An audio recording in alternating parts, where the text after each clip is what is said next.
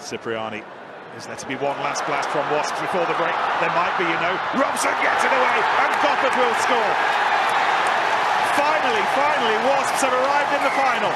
They've left it until the brink of the half-time oranges.